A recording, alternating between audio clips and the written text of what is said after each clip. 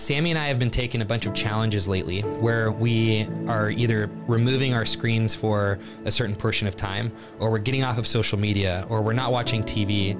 And we're testing these different things to see if we get connected to ourselves. And we actually just did a podcast talking about screen time, fasting, you know, creating margin in our lives. We actually took a full week off of Netflix, TV shows, which, as parents who at the end of the day crave to be in front of a screen sometimes, just to catch some glimpse of autonomy and rest, it was very difficult to want to give up that time. But when we did, something awesome happened. And so we did a very short podcast episode on this subject. I think it was like 20 minutes. We actually re recorded it because we filmed it the first time, had terrible audio, did a 20 minute version. But this 20 minute podcast is packed with a bunch of new wisdom and revelation on how to create margin in your life, how to get connected to yourself. And I'm excited for you to listen to the conversation. So without further ado, enjoy the episode. And if you like the episode, please like and subscribe to the channel. Thanks so much.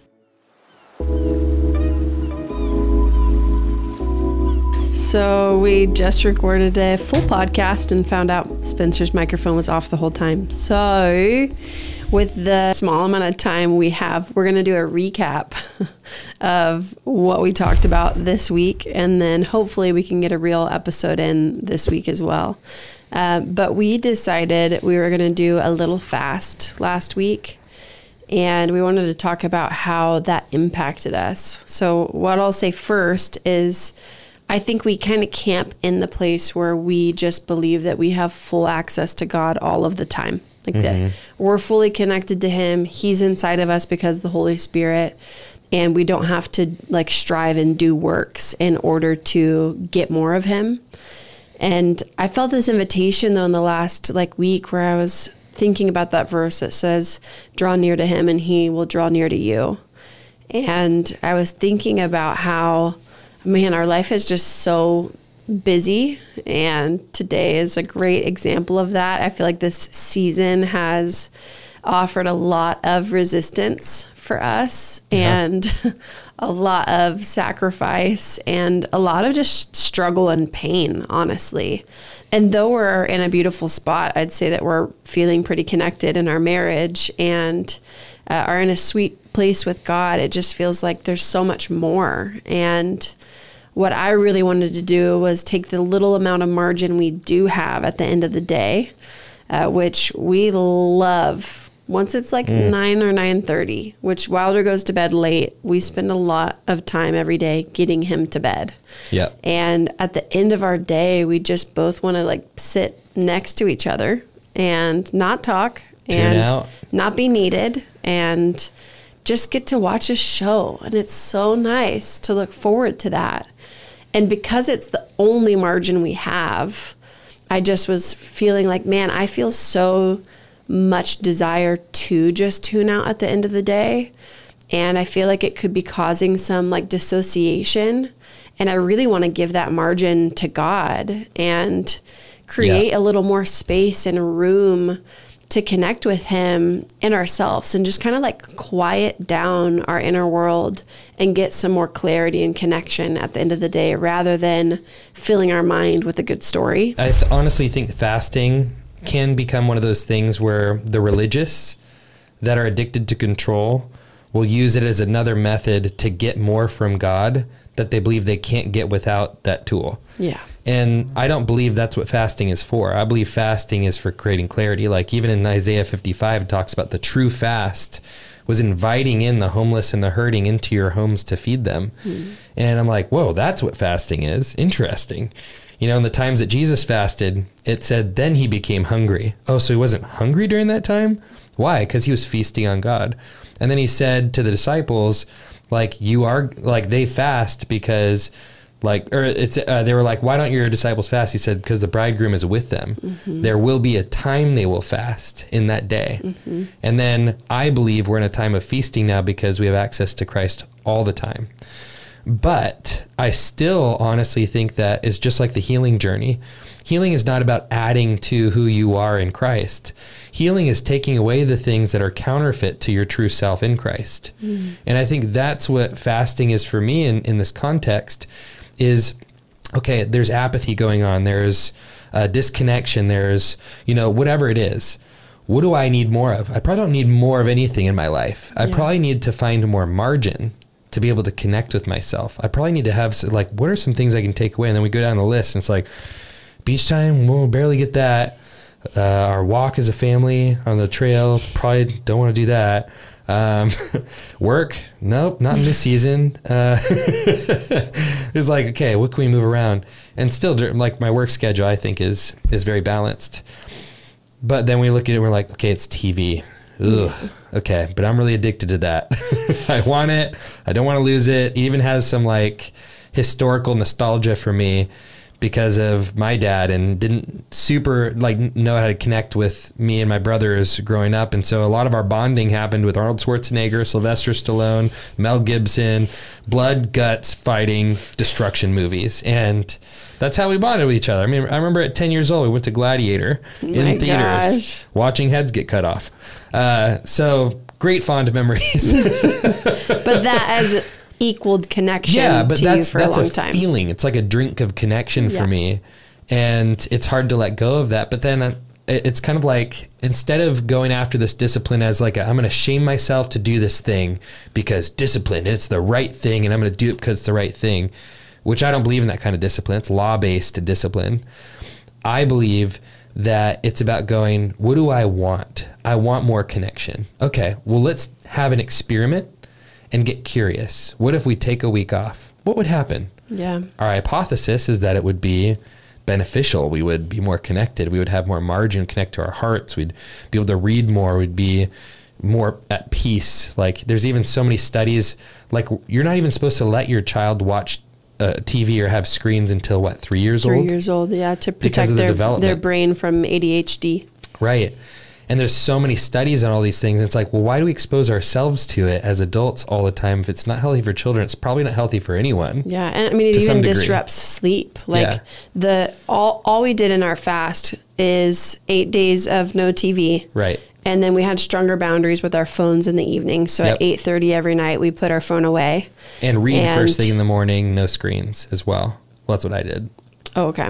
I Yeah. didn't. Yeah. Well, I was better than you. I normally can't read in the morning because I have a, a baby that's like in my face. He wants mama all morning. True. So it's very difficult for me to read. And the rest of the time, just so you know, like we don't have a TV in our living room. We have like a separate upstairs room. So we don't have shows on in front of Wilder ever. We don't let him see any of that stuff. It, the, the most he's gotten is like watching an aquarium video of fish swimming around or like a read aloud book with still book pages. For so it's minutes, basically he did like, watch surf wipeouts with me for two minutes oh yesterday. yeah, last night. That's true. Yeah. So Um, so Violation. he gets like teeny tiny amounts, but we're really fighting to protect him in that. And we aren't just sitting spaced out while we're with him. Like we'll have like little pockets where we're on our phones. So the end of the day, that really is our only time to like for me get to catch up on Instagram messages and to not be needed or wanted for something. And so it was just us like, okay, here's our like hour and a half that we have at the end of the day that we can offer the Lord. And there were so many things in our life. There have been so many things in our life that feel like they're just swirling, like stress over the business, over finances, over our home, over stuff with Wilder, with sleep, with health, with Biden. fertility. I'm just kidding. Oh my gosh. totally kidding. Um, and so we just were in this this posture where I was like, man, I'm so hungry for more of God and to slow down and quiet and like get clarity that like why don't we just lay this at God's feet and see how he moves. And part of the inspiration was actually our uh, Spencer's brother and his mom were really struggling in real estate oh yeah. and his brother Sam suggested that they do a fast. And so what they did is every single day they fasted until noon and they worked together in real estate. Yeah, they're partners. So uh, every day until noon they fasted and then they'd come together, they'd pray, and then they'd start work. And within six weeks of doing that, I think it was six weeks straight that they did that, right? Within six weeks, everything just fully turned, and they haven't been this busy in years. It And was like they're had 18 deals for like the next three months. they're just 18 deals. slammed. And it just was cool to see, like, not like I'm going to fast so that I can get provision or so that I can get blessing, but more like how can I get in the way of what God's already trying to do in my life? Yeah. Like how can I put myself in a posture where I'm aware of it, where I'm looking for God to show up for me, where I'm not doing things in my own strength, where I'm quieting down and removing distraction to be with him so that I can see how he's trying to move in my life already. Yeah. And that was a big part of the motivation for me is like I just want to put ourselves in a position where we're going out of our way to seek him. Yeah. And and not just like, well, God's here with us now and like that's just okay. Like I love that belief. I think that that's necessary. But my heart was like how can we bring more devotion and intentionality? And in short, because we already talked about all of this in our previous podcast, that we are going to throw in the dumpster because the audio is bad. Mm-hmm. In riddance. short, it was really, really beautiful to see how much more capacity we had. I know. How much more rested we felt. I went to bed earlier every single night, and I Got got incredible sleep. You got like some hundred sleep scores. Yes, my like my watch was tracking like incredible sleep. When was the last time you had a hundred sleep score? two and a half years ago literally two Yeah. and a half years ago yeah it just i just felt like so much more able to connect with what was actually in my heart because i think at the end of the day i will sacrifice going to sleep because i want to watch the show or more than that because i want time with you. Yeah. and that will influence like okay i'll stay for five more minutes because he wants five more minutes and i want to like go to bed at the same time. Mm-hmm. And then the five turns into 10 or 15 more minutes or then i get really into the scene and i like don't want to turn it off so then i want 10 more minutes. And i just get more awake and then more disconnected from what I actually want. And then I'm stimulated. So then I'm like, well, while I'm brushing my teeth, I'm going to scroll on my phone. And then while I'm getting in bed, I'm going to make sure I look up this random thing that I don't need to know. And it just compounds. And I feel like it's led to me. More and more stimulation. Yeah. And like it's led to me feeling more disconnected from myself, which Yeah. is the opposite of what I want. Well, like I think the opposite, you know, is like being in the woods with no technology, just there and, and connected to nature and beauty. And it's like what's around you, your surroundings, yourself. And that is like one of those things that I feel like we're desperate for in our society, but at the same time refuse to give ourselves. And it's like, it's interesting because I hear so many people too that are like, yeah, discipline, yes. It's like there's kind of two spectrums. And I hear at one end of the spectrum, they'll hear this pod, you'll hear this podcast even and go, oh yeah, here are the right things to do. Let me do them. And, and that black and white thinking is not helpful Yeah. because inevitably shame is going to come in, guilt's going to come in, and you're going to apply conditional love to try and motivate yourself. Like I hear so many people that have so much intention. They're like, they're folks like, just be intentional. And that's almost the message they deliver to other people. You need to be more intentional, get with God. You need to get into the word. You need to do this. And, Yeah. and Turns into I- works and I- striving. I, think all those behaviors are good, but they can't come from that place of just do it because, oh, is what I'm saying boring you? I just had to yawn. Okay. Just take deep breaths. Your oxygen will make it so you don't need to That's yawn. what I was doing. It was just a long breath with watery eyes, is all. you know, you can shut down a yawn if you want to. then you couldn't work through your rejection trigger that's coming up. Is that what it is? Yeah, I didn't Yeah. want to enable you. Oh, thank you for that. You're welcome. I'm pro your healing. Thank you. So, as I was saying, uh, I think like discipline and intentionality for discipline and intentionality's sake is not the greatest thing to focus on. Those are actually protectors of desire and vision. You know, so when you have a desire and a vision for something, what protects those things is delayed gratification, which is discipline. Discipline is I'm going to say no to now because what I want more is further out ahead. Yeah. And it requires me saying no to this now. Mm-hmm. And and really that's what I've heard, you know, like billionaires as an example, not that money is like a, a measure of true success, but it is a success in an area and it's trackable metrics. So you can see, okay, what went into this guy amassing $5 billion of net worth? A lot of discipline, right? Yeah. And usually those people, they are able, it's, it's not because they have the ability to say yes to a lot of things. Typically, if you follow their lives, they're really good at saying no. Mm-hmm. They say no to a lot.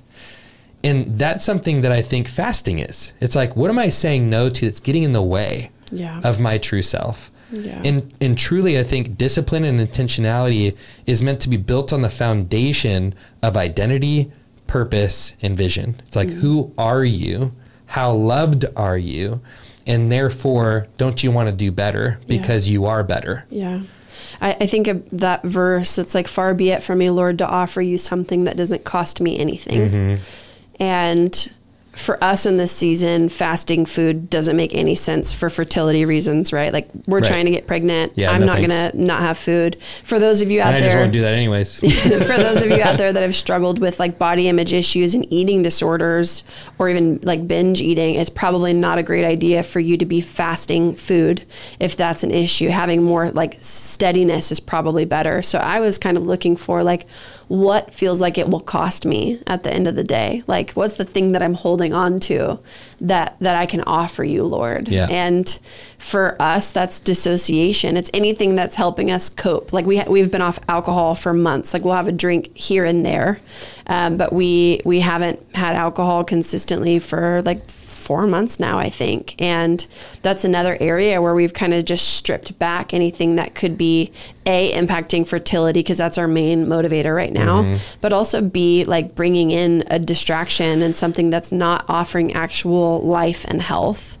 And it's felt really beautiful getting to see the results of coming out of that dissociation and seeing the things in our hearts that surface when we're connected. Yep. Like that's the thing with dissociation is it numbs our hearts and oftentimes our hearts won't feel safe enough to bring things to the surface that need to be looked at Right. and that need to be healed. And so I love the way it awakened both of our hearts and helped us get more connected to ourselves and to each other and just quiet down and what was really beautiful is seeing all of these shifts in our life that happened in the same week that we decided to fast. Like I could see God's hand and God's favor and I it felt so fun to give him credit for it because that's one of the things that I I wanted in this fast for us was like how can how can we put ourselves in a like posture wow posture and position where we get to give God all of the credit for what happens like we do nothing different besides quiet down internally and we get to see God move. And we saw so many areas where God showed up, like in our finances and different things in the business.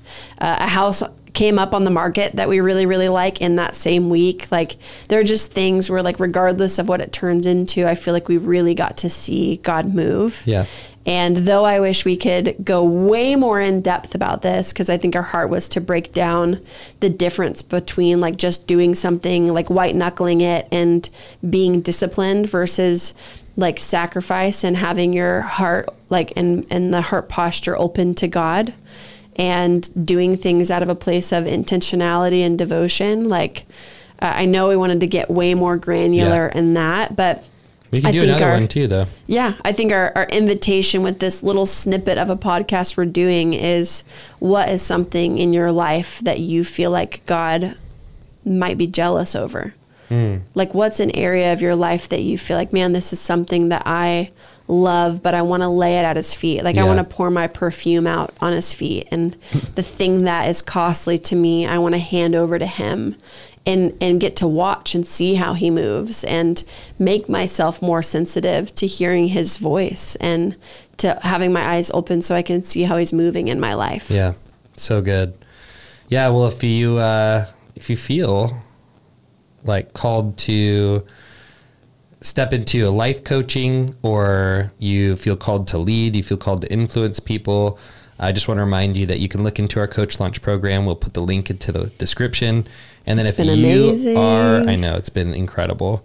Um, and if you are a woman and you are looking to go on a journey of connecting with your heart, and we, you know, we, I'll just say this: we have all of our courses available, group coaching. There's like an awesome community of women that we've been serving for some time now, and uh, it's very inexpensive. We'll put both links into the description of the podcast, and then right now.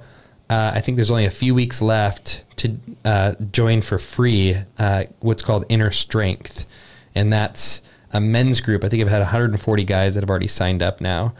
Uh, and it's been super amazing. Guys are getting tons of breakthrough. They're vulnerable for the first time in their lives.